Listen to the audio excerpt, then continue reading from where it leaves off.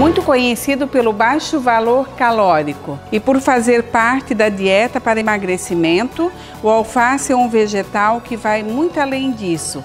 Confira com a gente os outros vários benefícios que essa folhosa possui.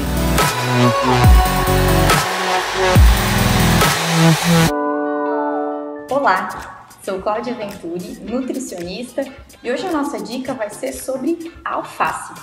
Isso mesmo, esse vegetal super conhecido, mas pouco falado sobre suas propriedades nutricionais.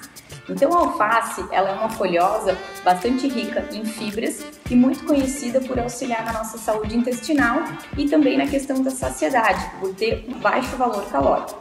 Mas justamente por ela ter esse baixo valor calórico e boa parte da sua composição ser água, a maioria das pessoas pensa que ela basicamente é só água. Mas não, a alface ela também é fonte de vitamina C, ferro, cálcio, fósforo, magnésio e ela pode ter várias ações interessantes no nosso corpo, como propriedade antioxidante, prevenindo uma série de doenças, melhora da pressão arterial, controle do colesterol. E uma curiosidade também é que a alface é fonte de niacina, uma vitamina bastante relacionada com a melhora da qualidade do sono.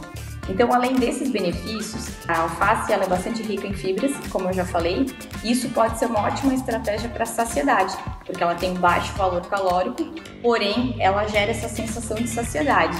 Então, a gente pode fazer, utilizar ela como base para diversas preparações, saladas, tortas, até em sucos, muitas vezes pode ser utilizado, gerando essa saciedade sem acrescentar muita caloria.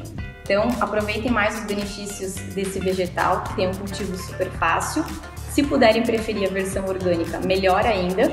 Todas essas vitaminas e minerais que eu citei na versão orgânica, com certeza vai ser muito mais biodisponível. Tá certo, pessoal? Espero que vocês tenham gostado e até a próxima dica.